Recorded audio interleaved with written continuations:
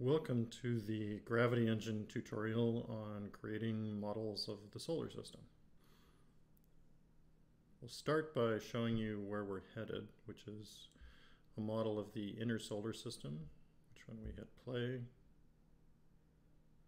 shows us Venus, Earth, Mars, and if we zoom out a little bit, we have Ceres, zooming out a little bit further,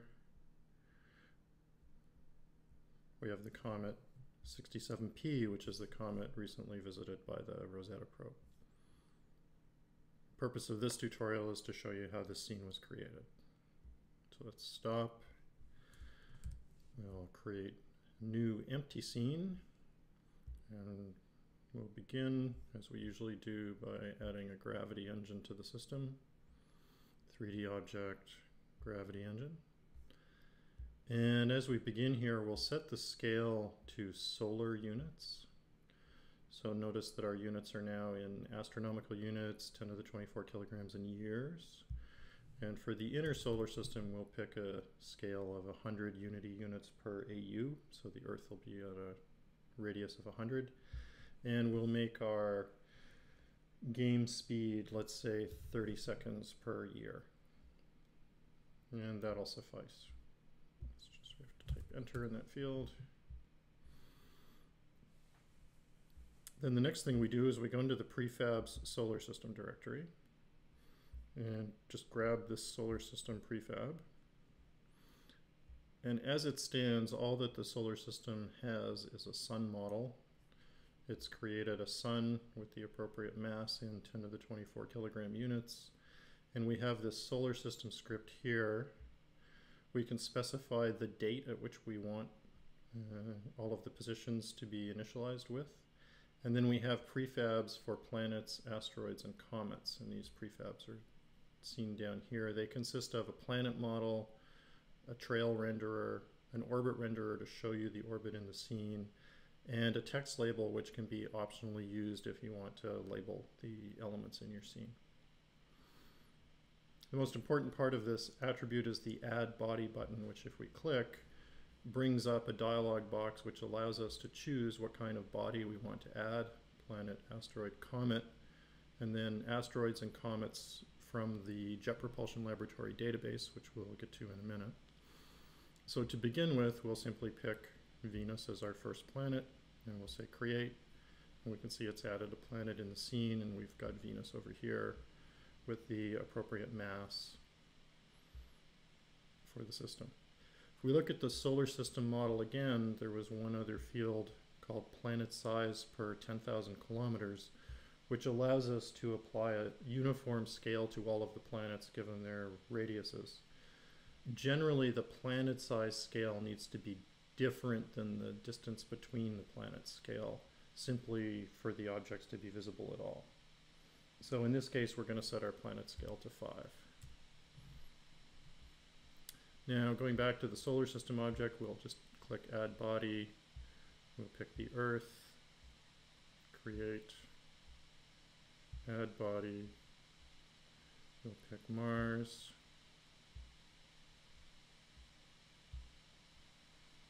Create.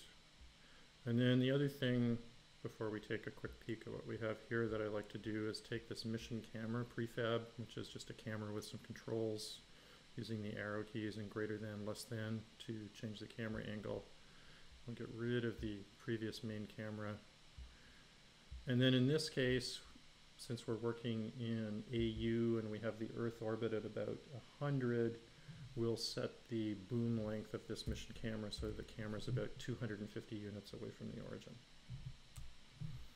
So now if we press play, we can see we have our three planets. We have Venus, Earth, and Mars in their appropriate orbits. We can use the arrow down key, change the scene a little bit. And that's the inner solar system. It's fairly quick and simple. Now let's add some other objects that are not planets. So we'll pick add body. We'll take asteroid. And there is now a selection of a variety of asteroids here, which just happen to be the first, I think 40 it is, from the commonly looked at asteroids, which we can create. So we've added the asteroid Ceres to this scene. It might be that the asteroid or comet that you're looking for is not in the list that's provided by Gravity Engine, in which case you can go to the Jet Propulsion Laboratory database for such objects. So if we click, for example, JPL Comet, we have this button called Open Comet Database. So we'll click that, and that will take us to a browser, which takes us to what is essentially a flat ASCII file. And each of these lines is a comet that has been logged and tracked. And there are, I think, about 250,000 entries in this file. So let's just do a search here for C-H-U-R-Y, and here we pick up 67P, and I won't try and pronounce the Russian name. And if we copy that line and then return to Unity, in this JPL data box here, we can simply paste it, and the field is automatically decoded, and it tells us that this is a comet that has the orbital axis of 3.46 AU, tells us about the inclination, eccentricity, uh, and the appropriate parameters, and we can then click create, and we've added P67 to our system. And now we can look at the scene here. We have these objects, we can zoom out. We could see that the comet in fact goes well beyond the orbit of Mars and in fact outside of the orbit of Ceres. We could add Jupiter to the scene if we wanted, its orbit would be uh, out about here somewhere. if you're adding a number of asteroids and comets and can be a little bit challenging challenging to keep track of which one is which. So there is a facility to automatically label these objects if you wish to use it. You don't have to, but you can. So under game object, we're going to use the Unity rendering system. We will add a canvas and we will take this canvas and switch it to world space. And then you'll notice that, for example, on the Venus object that was created, there's a text label in the prefab that was filled in with the correct text. Similarly, for 67P, that's also correctly labeled. So if we now just take this solar system object and place it on the canvas, then when we press play, we can see that the labels for all the objects are present.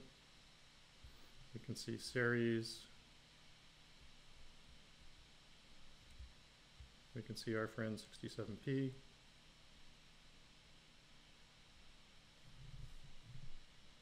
And we have the inner solar system with an asteroid and a comet.